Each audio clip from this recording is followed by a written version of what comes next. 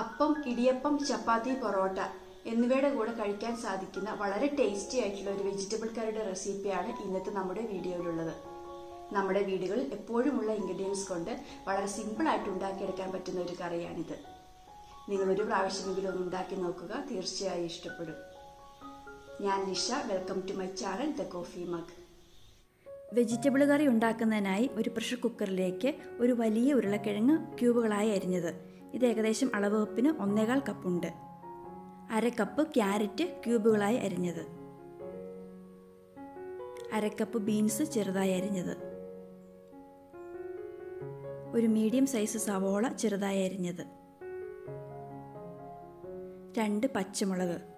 ഈ കറിയിലേക്ക് വേറെ മുളക് പൊടിയൊന്നും ചേർക്കുന്നില്ല. അതുകൊണ്ട് പച്ചമുളക് എടുക്കുമ്പോൾ എരിവ് നോക്കിയിട്ട് നിങ്ങളുടെ ആവശ്യത്തിന് ചേർത്ത് കൊടുക്കുക. ഒരു ടീസ്പൂൺ വെളുത്തുള്ളി ചതച്ചത്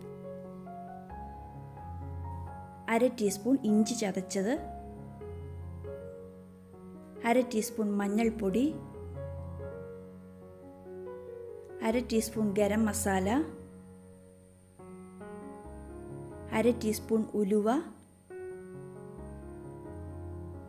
ഒരു ടീസ്പൂൺ ഉപ്പ്. അളവ് കപ്പിന് മുക്കാൽ കപ്പ് വെള്ളം. ഇവയെല്ലാം കൂടി ഒന്ന് ഇളക്കി ചേർക്കാം. പച്ചക്കറികൾ വേവുന്നതിന് ആവശ്യമായിട്ടുള്ള വെള്ളം മാത്രം ഒഴിച്ചു കൊടുത്താൽ മതി കേട്ടോ.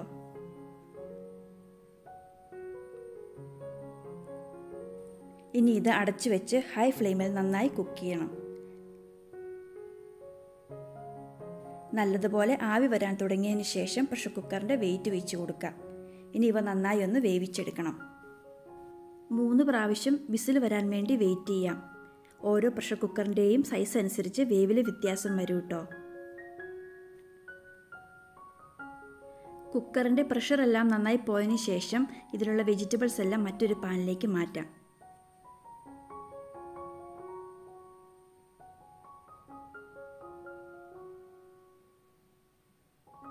ഇവിടെ വെജിറ്റബിൾസ് എല്ലാം നന്നായിട്ട് വെന്ത് കിട്ടിയിട്ടുണ്ട് കേട്ടോ.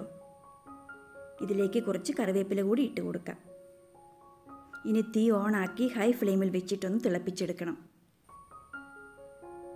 ഇപ്പോൾ തിളച്ച് വന്നിട്ടുണ്ട്. ഇനി തീ മീഡിയം ഫ്ലെയിമിലേക്ക് വെച്ചിട്ട് ഇതിലേക്ക് അളവ് കപ്പിന് മുക്കാൽ കപ്പ് നല്ല കട്ടിയുള്ള തേങ്ങാപ്പാൽ ചേർത്ത് കൊടുക്കാം.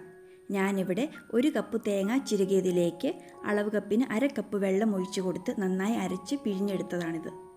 ഒന്ന് ഇളക്കി യോജിപ്പിച്ചെടുക്കാം കേട്ടോ.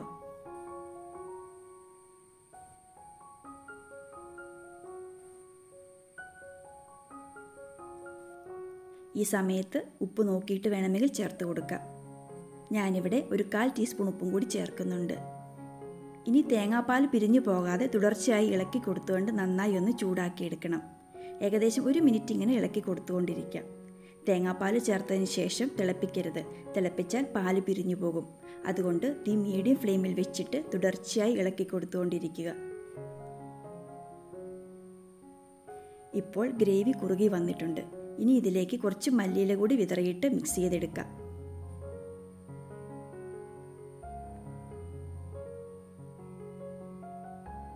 ഇപ്പോൾ നന്നായി ചൂടായി ആവി വന്നു തുടങ്ങി. ഇനി തീ ഓഫ് ചെയ്യാം. തീ ഓഫ് ചെയ്തതിന് ശേഷം കുറച്ച് നേരം കൂടി ഒന്ന് ഇളക്കി കൊടുക്കുക. ഇനി ഇത് മാറ്റിവെക്കാം ഇനി നമുക്കിതിലേക്ക് കടുക് പൊട്ടിച്ച് ചേർക്കണം. അതിന് ഒരു ചെറിയ പാത്രം ചൂടാക്കാൻ വെച്ചിട്ടുണ്ട്. ഇതിലേക്ക് ഒരു ടേബിൾ സ്പൂൺ വെളിച്ചെണ്ണ ഒഴിച്ച് ചൂടാക്കാം.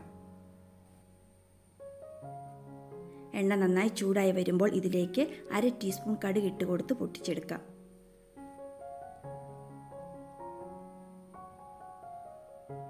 കടുകെല്ലാം നന്നായി പൊട്ടിക്കഴിയുമ്പോൾ ഇത് കറിയിലേക്ക് ഒഴിച്ചു കൊടുത്തിട്ട് നന്നായി യോജിപ്പിച്ചെടുക്കണം.